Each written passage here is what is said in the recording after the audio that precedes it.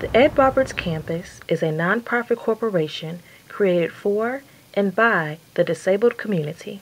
Its development was inspired by international leader and educator Ed Roberts, who fought for disability rights and their acceptance in society.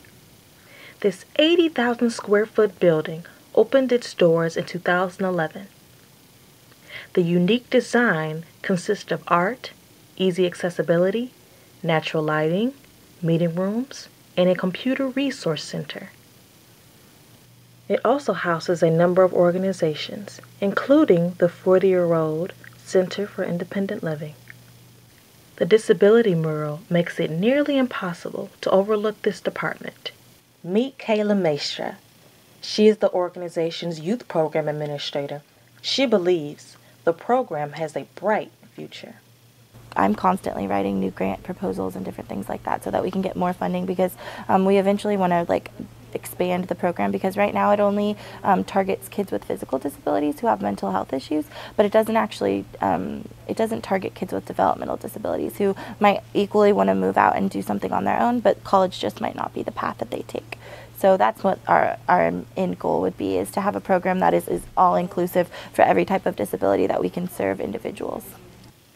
In the MAPS brochure, MAPS standing for Mentors Advocacy and Peer Service, consists of two parts.